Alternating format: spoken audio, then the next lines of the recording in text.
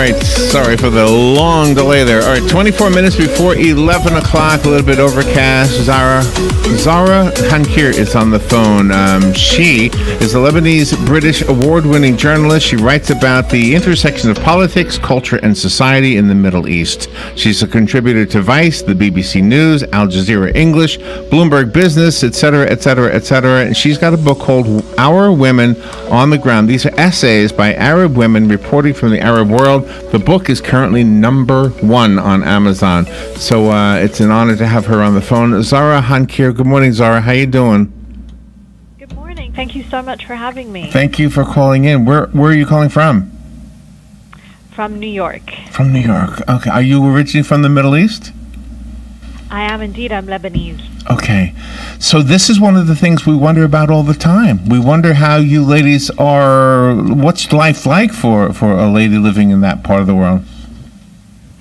I think um, actually part of the goal behind this book is to show there's really no one experience. There's a multiplicity of experiences across all of the Middle East. It's an incredibly diverse region, and I hoped by um, amplifying the voices of women um, from the region, we would uh, demonstrate that. So, from an American perspective, would we look at the way women are, what their lives are like, as being hard or being unfair in any way? I would say that um, the region fares pretty um, badly when it comes to women's rights. Some countries are worse than others, and therefore women have to contend with a very unique set of challenges that I would say um, many w- uh, Western women uh, would not.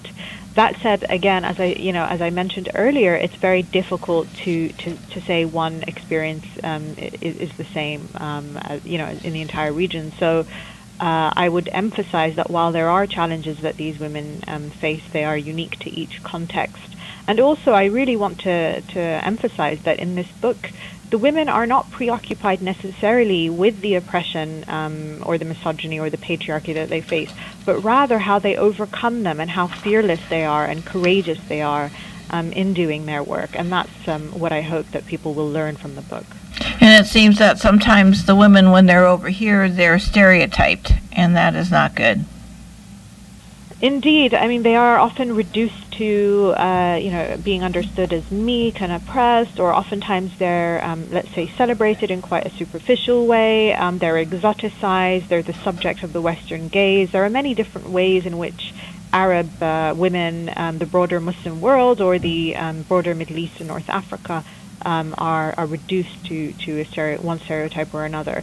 And this book, I believe, um, illustrates that, you know, while some women experience some challenges, as I said earlier, they, you know, w- what they're doing through their journalism is they're telling the stories of the resilient women of the region, mm-hmm. and they have access to these very unique closed off and private spaces in which only women can really explore and they're telling us the stories of those women. Um, so it's really quite an illuminating book.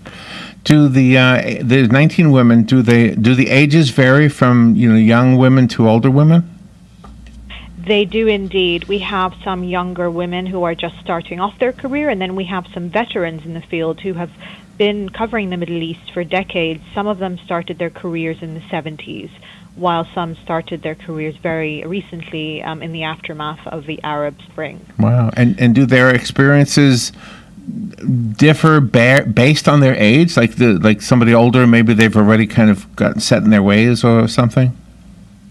That's a great question. I definitely find that the tone is quite different between the essays, whereby the older women are reflecting on their experiences without so much focusing on the challenges that they faced it's more so uh, what they learned from their experiences, how things may have changed, rather than them necessarily feeling like they're fighting the same fight that the younger women mm-hmm. are facing. Uh, I'm not sure if that's true more generally, but in this book, that's definitely the case. And there's an essay about personal loss from Nada Bakri. Indeed. Um, this book really is not an easy one to read in terms of how heavy the topics are, and um, one of the, the essays, uh, as you mentioned, Nada's, is, is quite, I would say, um, harrowing because she essentially writes about how she loses her husband, Anthony Shadid, who was a veteran Middle East correspondent. Uh, he worked for the New York Times and um, how that sort of intertwined with the hopelessness she felt for the region in general um, in the aftermath of the Arab Spring, and there's no real resolution in Nada's essay. There isn't a traditional narrative arc. It's a very raw, very honest, and very courageous um, essay in that it's the first time she writes about the grief and the trauma that she's experienced. That said, um, you know, many of the essays are actually um, hopeful. So, so there's a range of experiences, and it, and it's not all um, bleak and harrowing. Although that's the reality for Nada, as you know, definitely it's quite evident.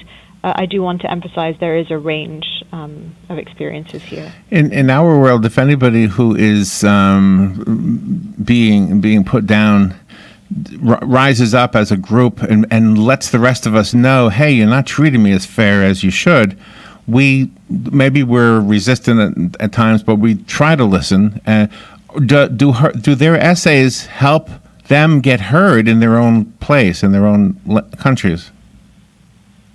That's a great question as well. I feel that um, that they will be heard and that they will be taken a little bit more seriously. In that you know they these voices are not often packaged in this specific way which is a memoir format which is them reflecting mm. on their experiences rather than simply doing journalism in that you know the, in journalism they will be writing about the experiences of others so what they're doing is they're they're bringing to light the the challenges that they're facing as women in these countries because women's rights um, are not great in these countries that's to say the least and also as journalists because journalists are repressed in these countries so by taking a step back mm. from the day to day and by writing about what it is like to face those challenges these women are indeed um, I think bringing uh, a new um, let's say angle to to coverage of the Middle East, and the book will be sold in some countries across the Middle East. It is being sold in Lebanon today.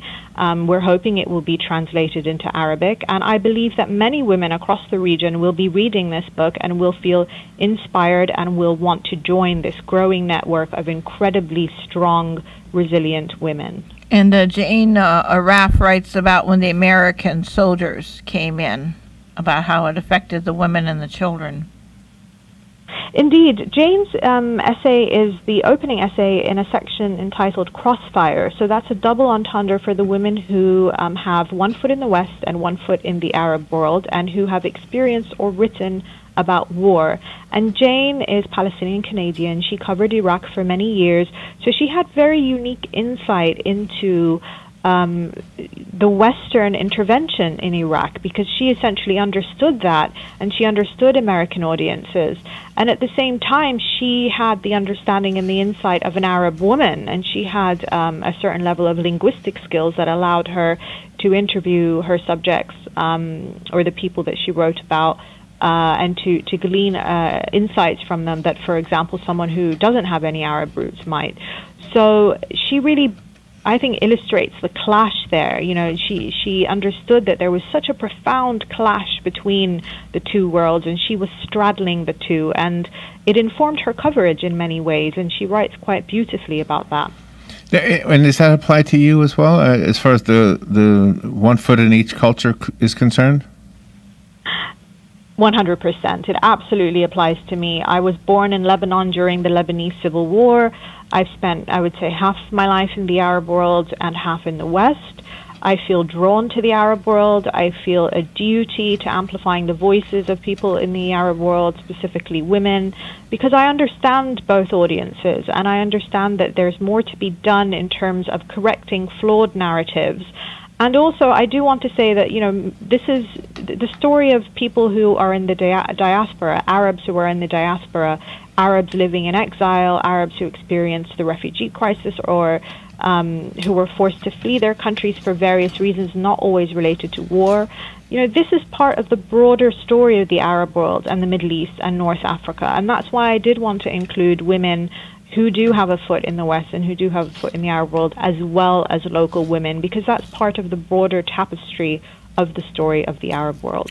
I think it serves all of us well when, when people write honestly about what they're going through so that the rest of us either can figure out that we've got it wrong or maybe we can help or, or maybe we can at least communicate. Um, I, I, really love what you've done here, uh, Zahra I have a copy of the book, Our Women on the Ground, for one of you listeners. If you'd like it, call me 622-962. I didn't mean to say one of you listeners. but if you're but if you're listening and you'd like the book, just call me. I'll leave it here.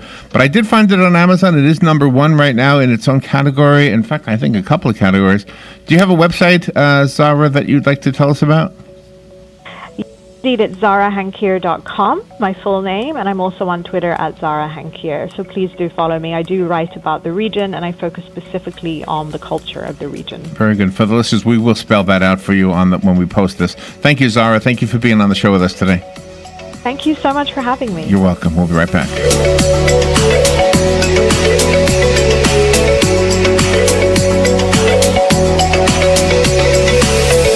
AccuSleep offers a safe and effective medical option for those